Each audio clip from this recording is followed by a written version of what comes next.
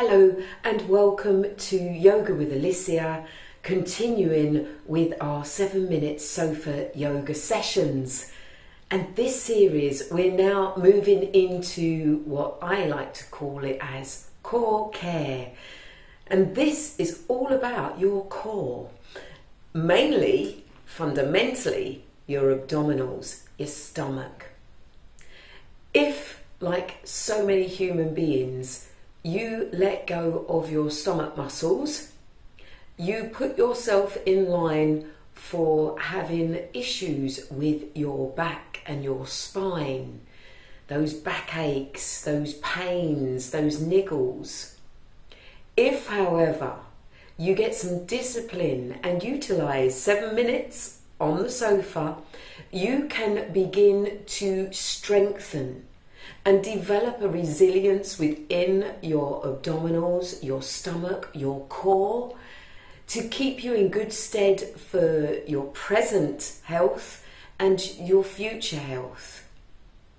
So many of us allow the stomach to relax, release all the muscles, they don't keep them strengthened. And this is when the load so to speak, then it gets put onto your spine. Now, your abdominals are a support framework for your spinal cord. Thus, keep a strong stomach and core, and your spine is going to stay strong and healthy too. So, in this series, we are going to do some exercises. I'm going to give you some tips and techniques for developing a strong core. Let's get started. Sitting on your sofa, you might like to have your feet still on the floor, your knees bent, that's fine. You can adapt all of these upper body positions that I'm going to be showing, having your legs um, like so, like this, with your feet on the floor. However, if you want to get into your yogi position of uh, being cross-legged or maybe even um, Baddha Konasana, bound cobbler, cobbler, where the soles of your feet are together, or you might like to even be in Padmasana, uh, lotus position, whatever feels good for you. But first and foremost, we're going to get ourselves out of the habit of the slouch. This where all of your abdominals, uh, your ribs as well, crush down into this lower part of the body, and the stomach just uh, softens, rounds itself, um, and your shoulders are rounded, um, and it's not the best position for developing strength.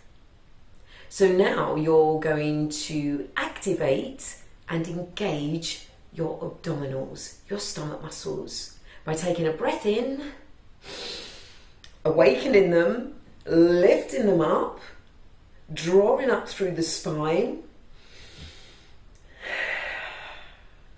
and getting some elevation.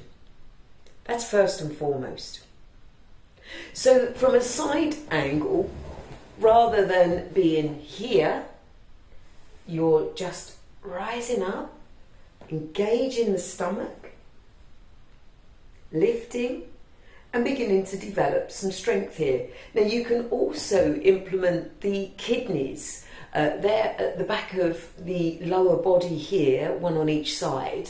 And if you just send a message from the mind to them, asking them to activate, to lift, and to gently draw forward, okay? So rather than slouching backwards, you've now got this forward and up.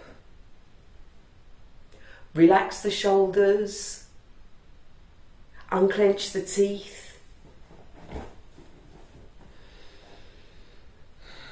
and breathe.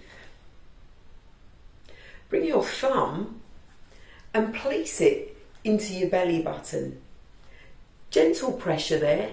Push your thumb into the belly button and swallow.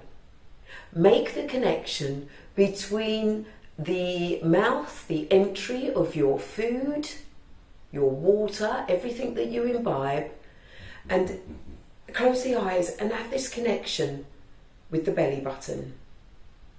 So it's a swallow, and you'll feel that connection between your mouth and your belly button. And then gently release. So now we've got that connection, keep it.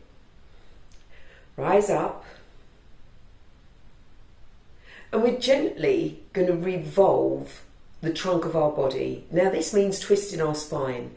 And back in some of my um, older videos, albeit only a couple of weeks ago, we were doing spinal twists. Now, within that, I state that as you twist the spine, you take the flesh on the body with you. So that's what we're going to do. And this is just a preliminary stage for the videos that are going to follow. Okay? So we've got this lifting up, we've got this connection from mouth to belly button, and we're simply going to turn one way, come back to the center, and then turn the other way. Come back to the center.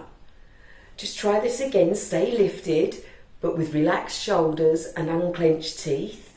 You're going to turn one way and you can take the arm to the back of the shoulder and feel that twist of the spine, but that you're taking the flesh with you.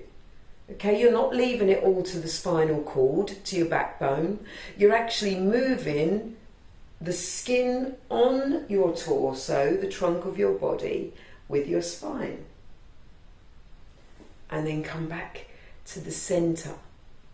Very brief, but do this practice, this very simplistic turning from side to side a few more times in preparation for tomorrow's seven minute sofa yoga session core care. See you soon.